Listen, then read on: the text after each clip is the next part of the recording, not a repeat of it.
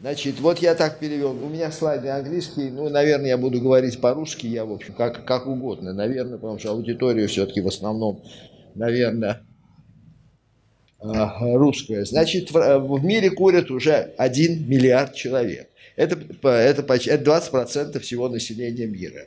800 миллионов из этих курящих – это мужчины. Все-таки больше мужчин курящих, чем женщин. Особенно это, э, э, так сказать, видно в, по Китаю. В Китае 74% мужчин курят и 8, всего 8% женщин.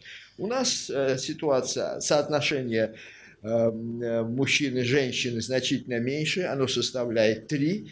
И э, по данным 2016 года в России курили почти 50% мужчин и 14% женщин. Это, в общем, мужские показатели очень высокие, что я вам сейчас покажу.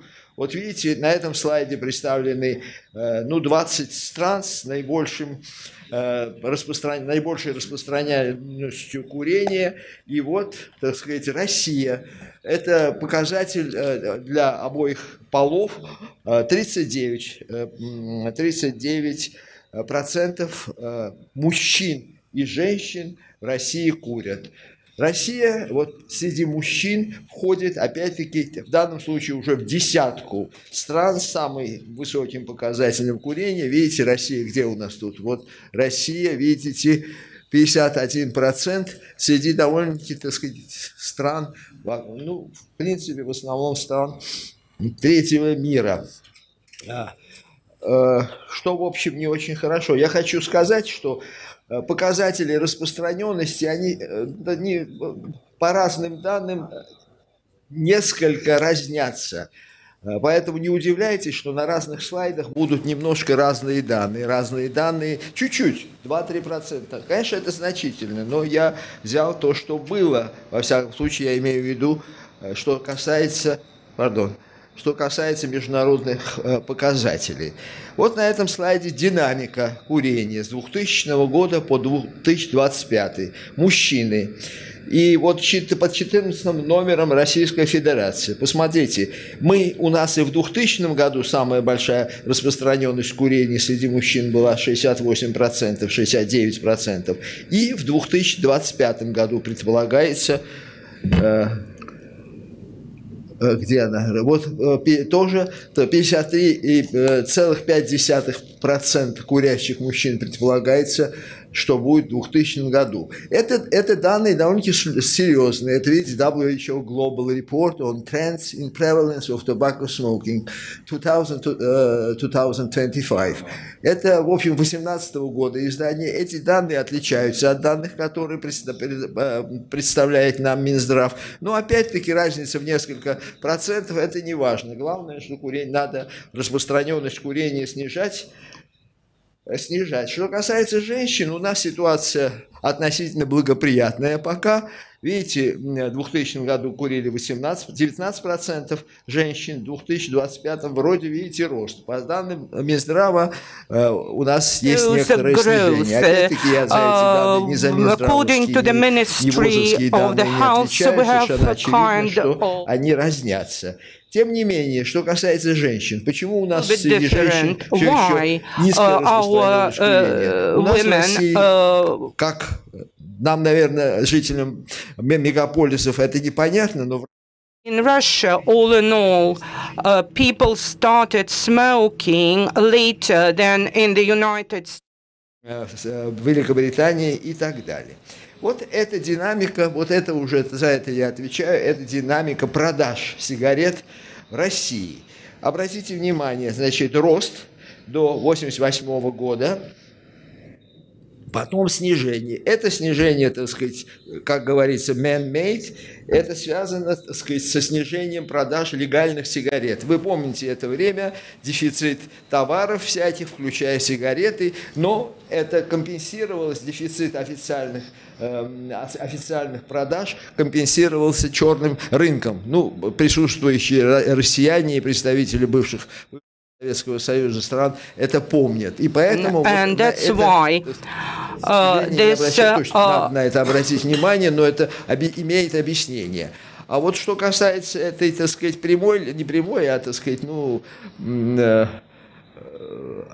ну да, не, не трендов, это, как вы помните, опять-таки в начале, когда развалился Советский Союз, вообще, так сказать, было очень много, опять-таки, нелегального товара, не было э, акцизов, вообще не было никакого законодательства по поводу э, э, налогообложения продаж сигарет и алкоголя. И, в общем, в общем, был полный беспорядок. И вот уже где-то в 98 году, когда э, эта ситуация утряслась, опять мы видим рост и вот максимальный рост где-то 2000, э, максимальное значение где-то в 2008 году 450 э, миллиардов штук сигарет продавалось в это время в России. Далее флюктуация, некоторое снижение, снижение продаж, но все-таки тенденция к снижению. Так. Так, прошу прощения. Почему-то вот здесь не хочет переходит. Толкните, а? Вот так, хорошо. Теперь я хочу все-таки перейти к доказательствам того, все-таки, э, по-видимому, надо об этом несколько слов сказать. Вот основные исследования, которые были, на основании которых были э, получены доказательства, ранее, я бы сказал, исследования, на основании которых были получены, получены доказательства о том, что э, курение вызывает рак легкого и другие э, опухоли э, человека. Это э, когортное исследование американского противоракового общества, это исследование э, э, когорты ветеранов войны и исследование когорты британских докторов, врачей. Это известные исследования, на основании которых и были получены доказательства, доказательства канцерогенности курения для человека. Это я вам представляю наше исследование коротко. У нас когорта практически 250 тысяч человек, которые мы наблюдаем уже, ну, здесь написано 14 лет, но в принципе это уже 20 лет э, накопилось. И вот на основании э, опроса в начале э, участников когорты, прослеживания и анализа, естественно, мы показали, что, так сказать, риск рака легкого растет с количеством потребляемых сигарет, и, как видите, видите, показатель риска достаточно высокий. Кроме того, курение вызывает, это опять наши данные, вызывает как рак легкого, так и рак верхних дыхательных и пищеварительных органов. И также, как видите, вот ниже, фактически все э, повышает риск всех сердечно-сосудистых заболеваний и всех заболеваний и всех заболеваний легких, особенно хронических заболеваний легких, особенно хронической обструктивной болезни легких. Ну, вот на основании, что-то бежит все время, на основании вот этих, не хочет, на основании этих... Ну почему он не хочет здесь остановиться? Что с этим делать, ребята?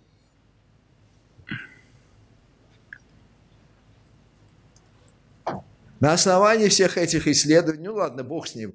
А, нет, нет, не бог с ним, потому что это очень важно, потому что это доказательная база, это абсолютно необходимо. Ну ладно, бог с ним. Так, на основании этих исследований... Нет, ну, давайте попросим наших... Нет, ну ладно, бог с ним, пусть будет так, потому что уже, уже времени не хватает. Э, на Э, монографический э, комитет Международного агентства по изучению рака в течение, вот видите, несколько лет этих э, событий, заседаний этих рабочих групп монографического комитета 1984, 2004, 2012, может быть, и где-то в промежутке было. Я это помню, потому что на этих монографических комитетах я был. И на основании вот имеющихся и изученных и проанализированных, опубликованных, повторяю, данных, было доказано, что курение вызывает вот перечисленные здесь 15 форм рака.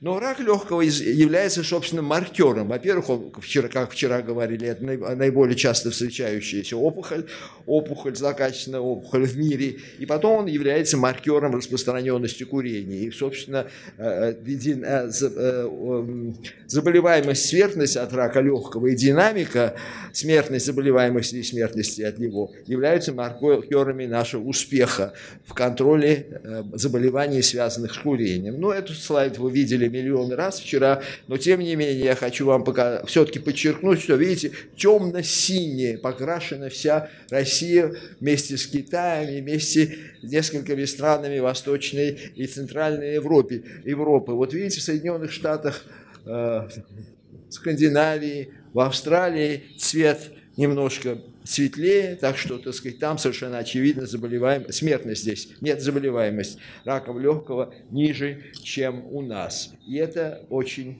грустно.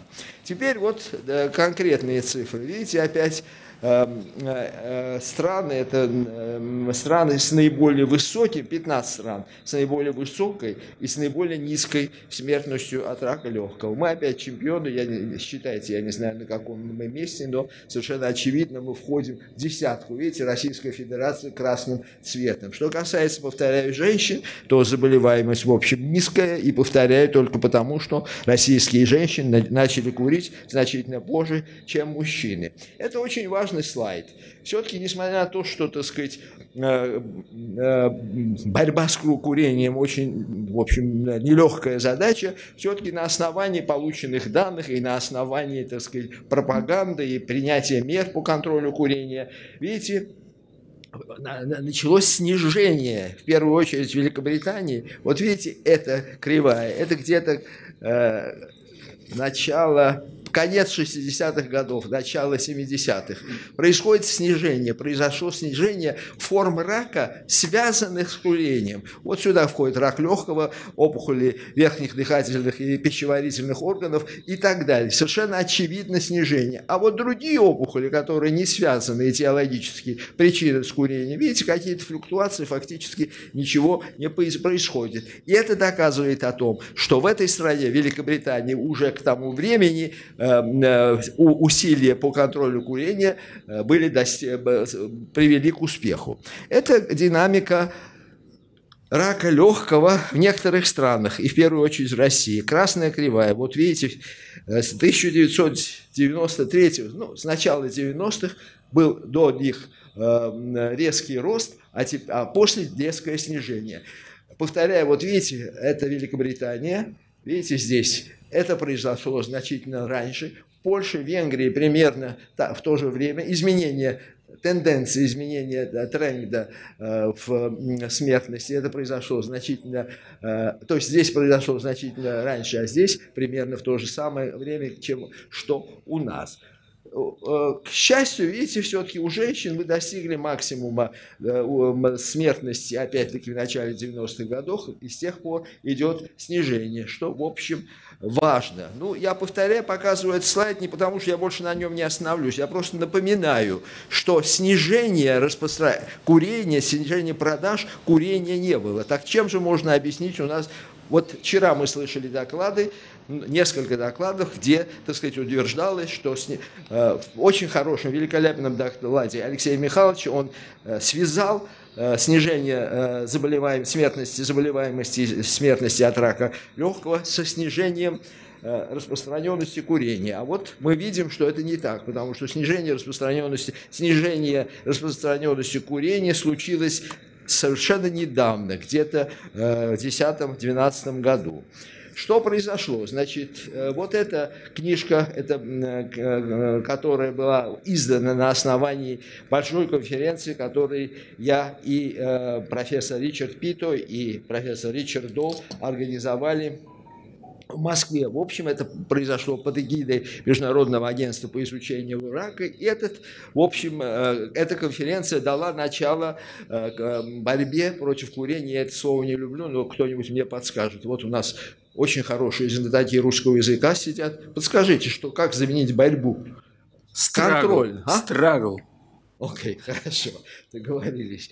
Но, тем не менее, значит, эта конференция, в общем, рекомендовала, предложила все, так сказать, возможные рекомендации, которые были э, основаны, рекомендации, основанные на рекомендациях ВОЗ. Однако дополнительная рекомендация была снизить э, дополнительная рекомендация снизить в сигаретах э, уровни содержания эм, смолы в то время российских, советских и сигаретах э, социалистического лагеря содержание смолы было очень высоким. И вот э, эта конференция рекомендовала снизить для начала до 15 миллиграмм.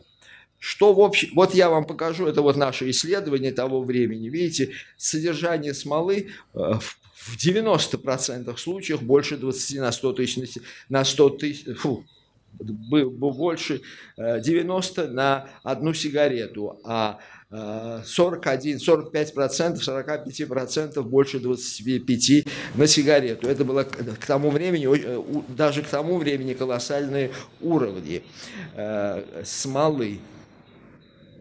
Так, опять прыгает. И э, как э, хотите верьте, хотите нет, Министерство здравоохранения и Санэпиднадзор того времени нас услышал, и они ввели, мы ввели в Советском Союзе регламент на содержание в сигаретах смолы. 15 на, э, миллиграмм на сигарету, а потом уже в дальнейшем 12 миллиграмм на сигарету. И это единственное э, э, объяснение снижения, для снижения заболеваемости и смертности от рака легкого в России. И в других республиках Советского Союза. Видите, здесь Казахстан, Латвия, э, Россия, Россия, Украина и тут Великобритания. Видите, абсолютно в одно время, в начале 90-х снижается э, заболеваемость. И это, между прочим, очень важно, потому что вот эта мера привела, э, сохранила жизни э, более 200 тысячам мужчин, мужчин и женщин в России. Э, и, соответственно, плюс еще в э, бывших республиках Советского Союза. У нас еще в начале 91-х годов, прямо после путча, мы провели конференцию, которая называлась «Профилактика рака в Европе». Председателями были известный молекулярный биолог британский Уолтер Бодмен и я, и мы, так сказать, опубликовали книжку в Международном противораковом союзе в Женеве в 1992 году. И здесь, опять-таки, перечислены рекомендации, в общем, которые впоследствии легли в основу нашего закона российского о, э, по э, контролю курения, табакокурения в России.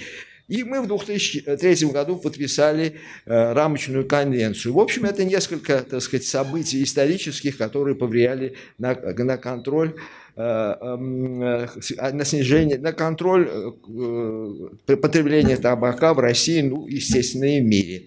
Ну, я хочу, это вот слайд, это тут словесный, тут фактологии нет, но я хочу подчеркнуть, что исследования научные, они были так сказать, через 50-60 лет они были фактически притворены в жизнь. Результаты их внедрены, и это привело, значит, translation, ну вот трансляционная э, трансляция фундаментальных эпидемиологических исследований на практику. Это привело к снижению заболеваемости и смертности от причин, связанных с курением, и, соответственно, сохранило многие миллионы, тысяч, многие сотни тысяч жизни. Вы на меня смотрите укоризненно. Все уже? 15 минут? Нет, у вас есть еще 3 минуты. Очень хорошо. Значит, э, ситуация такая. Вот в 2009 году 60% мужчин и 22% женщин курили. В 2016 году ну, мы спустили, э, удалось снизить до 50% э, курения среди мужчин и 14% среди женщин. Но, повторяю, это Минздравовские данные, я их не обсуждаю, но я уже сказал, что многие данные, данные Всемирной организации здравоохранения, с Минздравовскими данными, в общем, в некоторой степени от, расходятся. И, как вы знаете, у нас цель глобальное снизить курение до 27% в 2025 году. Это трудно, если не невозможно. И вот два заключительных слайда. А, я это буду читать, потому что это важно. э, что за относительно короткий срок удалось снизить распространенность курения среди российских э, среди взрослых россиян в возрасте старше 15 лет до 50% среди мужчин и 15% среди женщин. Однако это была относительно легкая победа. Бросили курить наиболее сознательные курильщики, у которых никотиновая зависимость была не очень сильна. Тем не менее, половина российских мужчин все еще курит. И это заядлые курильщики, настоящие никотиноманы. Многие из них не только не могут, но и не хотят бросить курить. В связи с этим процесс снижения замедлится. Так было в странах которых снижение курения началось несколько десятков лет назад. Для достижения поставленной цели, а именно снижения распространенности курения до 27%, я повторяю, все равно это практически невозможно, к 2025 году необходимы дополнительные эффективные меры – а именно регулирование э, в табачном дыме содержания никотина. Это уже предлагается в FDA, э, снижение никотина и смолы. Эта мера послужит снижению табачной зависимости курящих, а также приведет к уменьшению канцерогенного риска табачных изделий. И необходимо, так сказать, внедрение эффективных мер, направленных на борьбу, э, на борьбу с никотиновой зависимостью и отказу от курения, включая никотин-заместительную терапию. Необходим контроль и регламентирование электронных средств доставки никотина, в том числе электронных систем и систем нагревания табака. И, наконец, исследование необходимо проводить, э, изучить влияние их потребления, я имею в виду электронных средств доставки никотина на здоровье человека, в том числе возможное снижение канцерогенного риска, связанного с их потреблением по, по сравнению с курением сигарет. Спасибо за внимание. Ну, один короткий вопрос и короткий ответ, Давид Георгиевич. Хорошо. Вот вы говорили о том, что когда люди отказываются от курения, мы ожидаем снижения онкологической заболеваемости. Да, обязательно. У вас, как у эпидемиолога, я хочу спросить, Сколько конкретно нужно времени, ну, на примере той же Британии, если люди... 10 лет. 10 лет. Все, спасибо.